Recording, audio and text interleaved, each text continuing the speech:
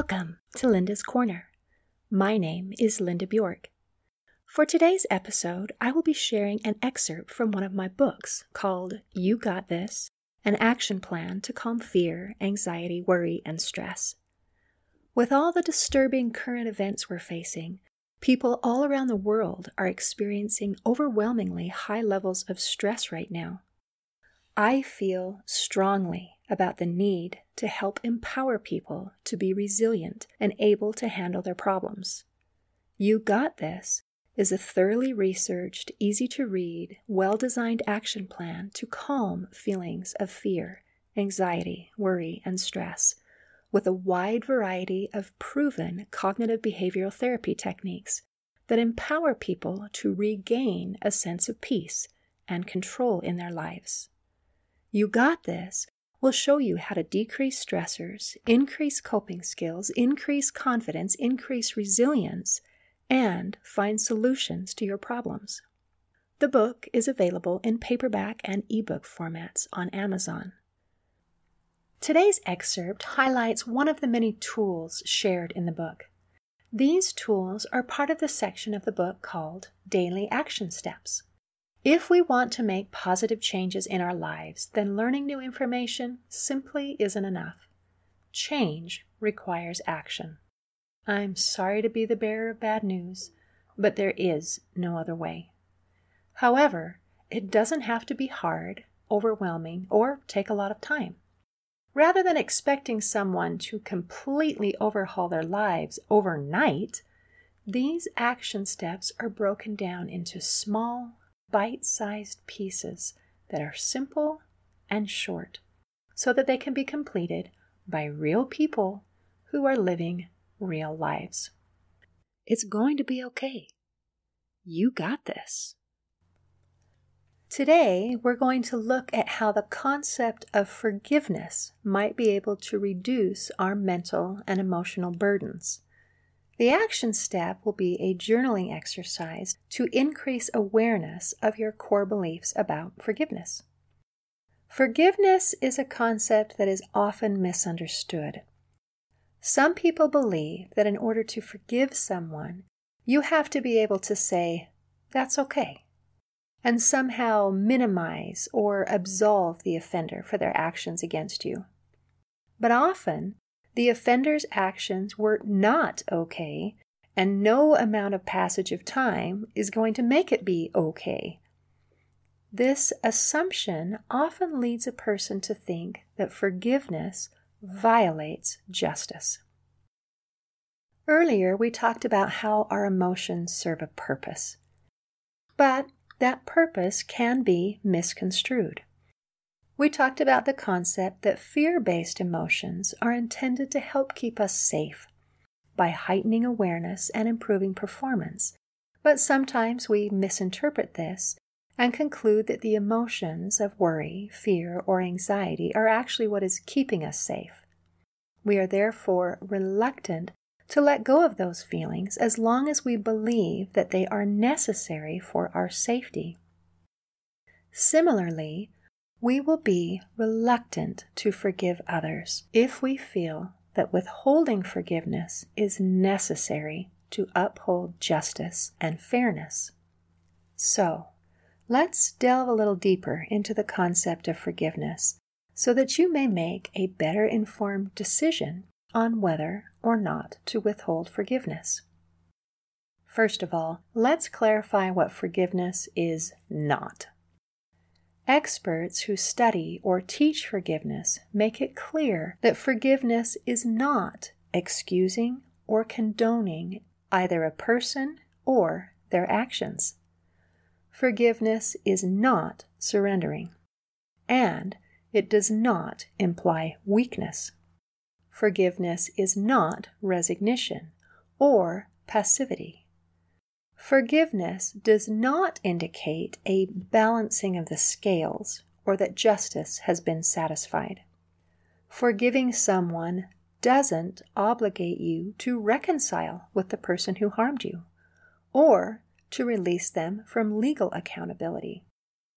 Psychologists generally define forgiveness as a conscious, deliberate decision to release feelings of resentment or vengeance toward a person or group who has harmed you, regardless of whether or not they actually deserve your forgiveness. Forgiveness doesn't mean that you have to forget the incident, but it implies that you are able to detach the negative feelings associated with the event. Although forgiveness does benefit the person who is being forgiven, the primary benefactor is actually the person who is doing the forgiving. Forgiveness brings the forgiver peace of mind and frees him or her from corrosive anger and deeply held negative feelings. In that way, it empowers you to recognize the pain you suffered without letting that pain define you. It enables you to heal and move on with your life. Furthermore, forgiveness also benefits us physically. Research shows that the act of forgiveness can improve the quality of our sleep, reduce pain, lower the risk of heart attack, improve cholesterol levels, reduce blood pressure and levels of anxiety, depression, and stress. On the other hand, holding a grudge can harm you emotionally, mentally, and physically.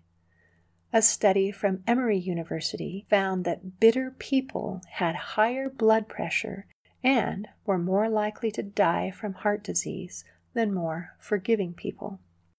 Research shows that holding a grudge increases stress by boosting cortisol levels and decreasing happiness by diminishing oxytocin. In addition, prolonged feelings of resentment can also negatively impact metabolism immune system, and organ function. It keeps your body locked into that fight or flight response, which leads to a variety of chronic diseases. One of my favorite examples demonstrating the personal benefits of forgiveness is in the story of Corrie ten Boom, which she shares in her book, The Hiding Place. Corrie was a middle aged Dutch watchmaker happily living a content and quiet life with her father and sister Betsy, when their lives were forever altered by the horrors of the Holocaust during World War II. This devout Christian family joined the underground and helped many Jews escape the Nazis by hiding them in their home. Eventually, they were caught and arrested she endured the privation and degradation of Ravensbrück concentration camp. Before the war ended, both her father and her sister died. When Corrie was released from prison, she set up a rehabilitation center in the Netherlands to help others like herself who had been prisoners of war. She found it interesting that it was not the Germans or the Japanese that these people had the hardest time forgiving. It was their fellow Dutchman who had sided with the enemy. But in every case, forgiveness played an integral part of the healing process. She scheduled speaking engagements, and wherever she went, she spoke of the healing power of forgiveness. After one of these speeches in Germany, she was startled to have a man that she recognized as a former guard at Ravensbrück come up to her and thank her for her message. It was the first time since her release that she had stood face to face with one of her captors, and her blood seemed to freeze.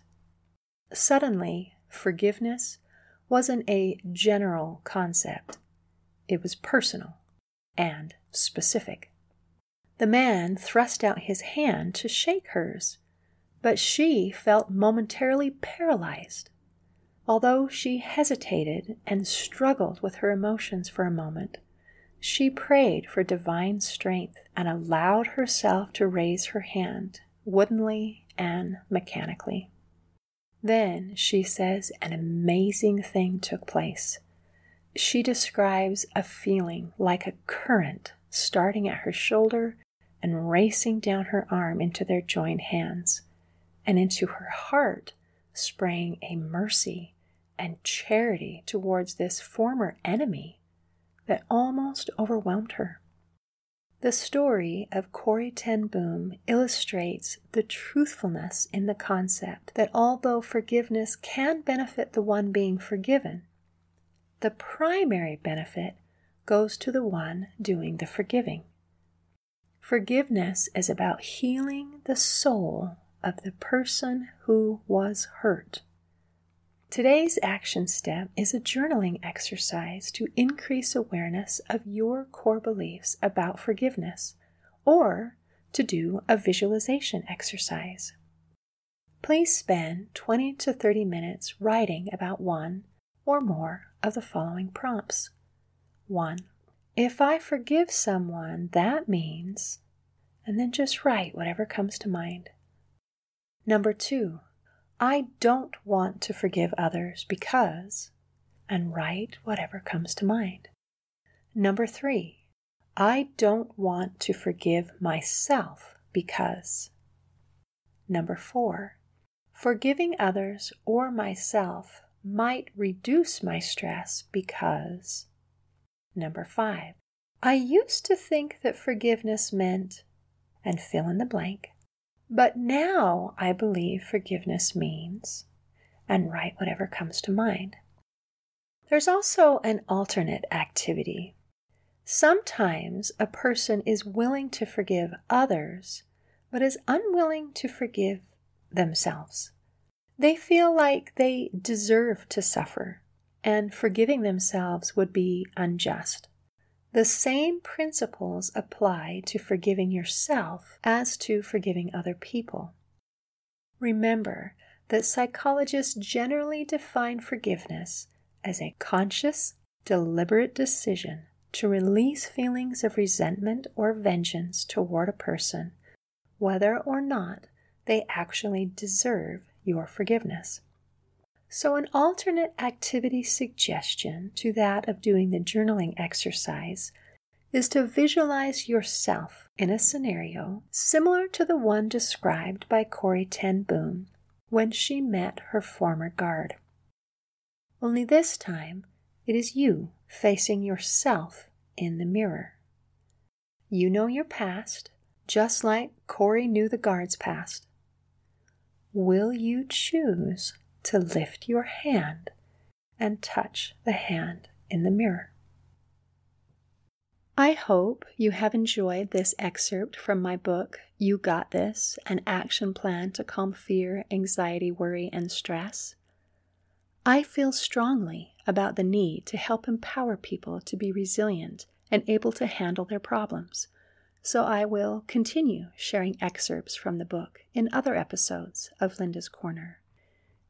In closing, I would like to share a quote from Diane Donovan, senior reviewer at Midwest Book Review. She says, You got this an action plan to calm fear, anxiety, worry, and stress provides self help readers with a concrete course of action to reduce stress and anxiety. See you next time on Linda's Corner.